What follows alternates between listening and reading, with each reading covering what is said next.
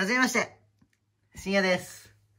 えーっと、前から見てくださってる方は、突然自分の名前が東京ピエロから、えーっと、よろずやに変わってちょっと戸惑ってる。戸惑いもしないか。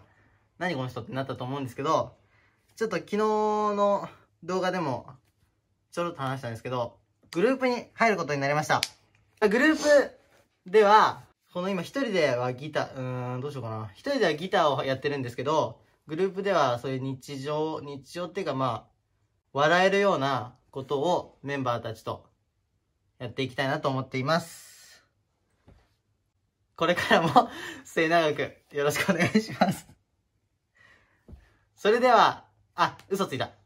概要欄にグループのなんか動画とかを貼っておくので、もしよかったらチャンネル登録してみて、してみ、してください。